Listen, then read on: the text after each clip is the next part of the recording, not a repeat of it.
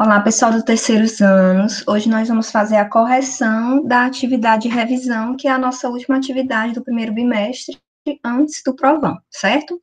Então, na primeira questão, é, vai dizer assim: a genética é uma área da ciência que estuda. O que, é que a genética vai estudar, como a gente viu? A transmissão das características físicas e biológicas de um indivíduo para o outro, ou seja, as características que são hereditárias. Então, aí, no caso, é o primeiro item, o item A.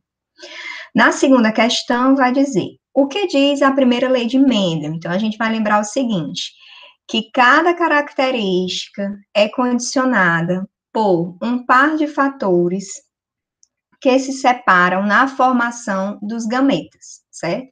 Cada característica é formada, é condicionada por um par de fatores que se separam na formação dos gametas, o item C. Terceira questão. Qual características fizeram Mendel escolher as ervilhas para o seu experimento? Então, a gente vai lembrar: as flores realizavam autofecundação, elas possuíam um ciclo curto de vida, geravam muitos descendentes e eram de fácil cultivo. Então, aí o item correto é o item número E. Na quarta questão, qual é o enunciado da segunda lei de Mendel? Aí, na segunda lei de Mendel, a gente vai ter assim, ó, para cada par de alelos segrega-se de maneira independente de outros pares de alelos durante a formação dos gametas. Então, cada par de alelos separa-se independentemente de outros pares de alelo durante a formação dos gametas. E na última questão, que essa questão a gente já viu, eu dei até exemplo, né, na aula, mas aí a gente vai ver aqui novamente, tá? Vamos lá. É, uma, imagine uma mulher com olhos escuros e visão normal. Isso é o fenótipo dela. Casa-se com um homem de olhos claros e míope. Sabendo que os olhos escuros e a visão normal são determinados por genes dominantes, cesão e emisão, marque a alternativa que indica a probabilidade de nascer uma criança de olhos claros e visão normal.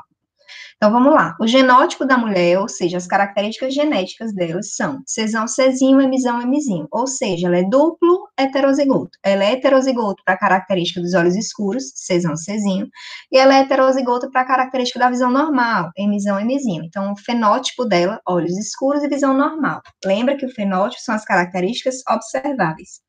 O genótipo do homem vai ser Czinho, Czinho, Mzinho, Mzinho, ou seja, ele é duplo homozigoto recessivo. Então, ele vai ser homozigoto recessivo para a característica dos olhos claros, Czinho, Czinho, e ele é homozigoto recessivo para a característica míope, Mzinho, Mzinho tá?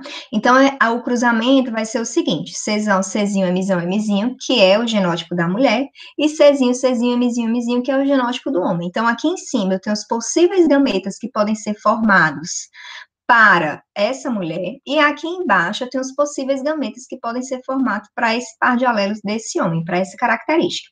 Então, a gente faz aqui aquela junção, né, que a gente já viu, ó, Czão com Czinho, Mzão com Mzinho, e nós temos essas quatro possibilidades.